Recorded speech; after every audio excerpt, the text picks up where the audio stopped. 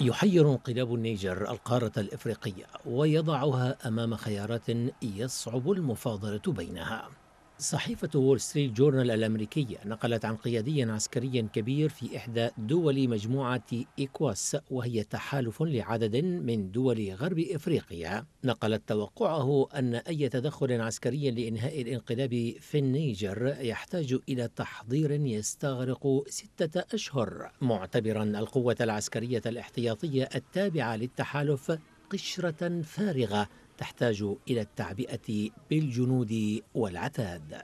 ليس ما سبق هو التحدي الوحيد لمجموعة إيكواس إذ نقلت الصحيفة عن مسؤول أمريكي قوله إن التهديدات المضادة من مالي وبوركينا فاسو وغينيا والقوات التي استولت على السلطة في النيجر قد تردع إيكواس عن اتخاذ إجراءات عسكرية. صحيح أن اجتماع إيكواس الذي عقد في العاصمة النيجيرية أبوجا قد انتهى إلى الإعلان عن اللجوء إلى الخيارات الدبلوماسية لحل الأزمة مع الإبقاء على كل الخيارات وتفعيل القوة الاحتياطية لإيكواس على الفور إلا أن الخيار العسكري لن يكون سهلا على الإطلاق بحسب مراقبين. مختصون بالقانون الدولي أكدوا أن مجموعة إيكواس تخضع لأحكام القانون الدولي فهي مطالبة بالحصول على إذن من مجلس الأمن الدولي إذا قررت شن الهجوم على دولة ذات سيادة وفقا للمادة الثالثة والخمسين من ميثاق الأمم المتحدة.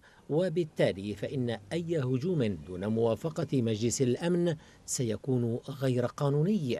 ناهيك عن احتمال خروج هذا الهجوم عن السيطرة وتطوره إلى مواجهة إقليمية واسعة خاصة إذا دخلت مالي وبوركينا فاسو على خط المواجهة إلى جانب الانقلابيين.